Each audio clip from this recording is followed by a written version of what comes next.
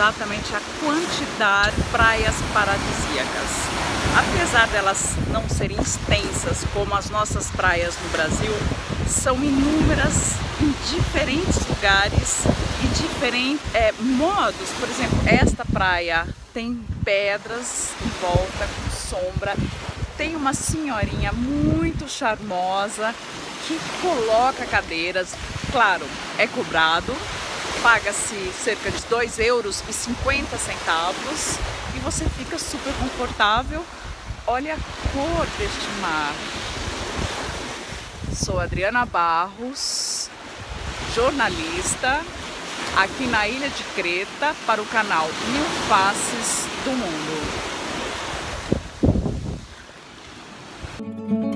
Kalorhorio em grego significa Boa Vila. É uma aldeia no município de Aios Nicolaus. A aldeia de Kalorhorio tem uma população de cerca de 900 pessoas. Se alinha atraente no meio de uma paisagem montanhosa verdejante, onde olivais em abundância e coloridos arbustos e plantas mediterrâneas chegam até o mar. Ao longo dos últimos anos, naturalmente com o turismo, parte da aldeia cresceu mais perto da praia Istro, que tem muitos pontos arqueológicos de interesse.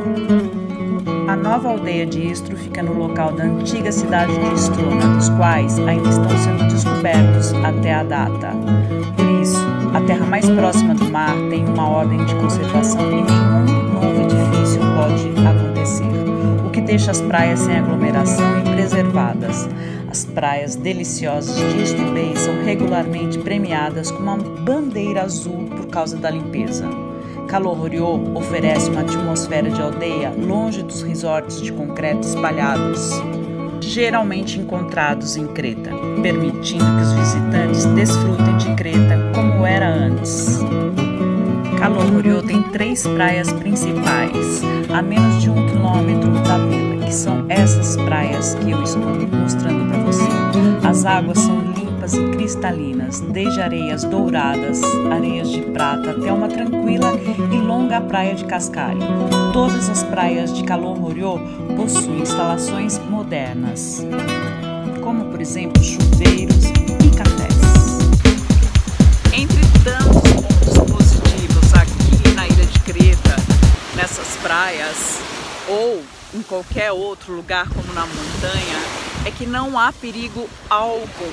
Você está seguro em relação aos animais. Não há tubarão, não há crocodilos, não há é, nenhum animal perigoso.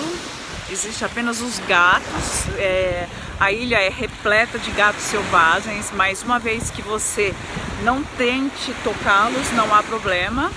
Existem os escorpiões que não são perigosos, eles podem dar no máximo uma alergia, são pequenininhos, pode acontecer de encontrar algum escorpião pequeno.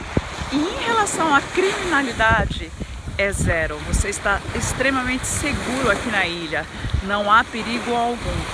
Arrastão nem pensar, você pode deixar sua sacola na praia com um iPhone sem problema algum e mergulhar tranquilamente.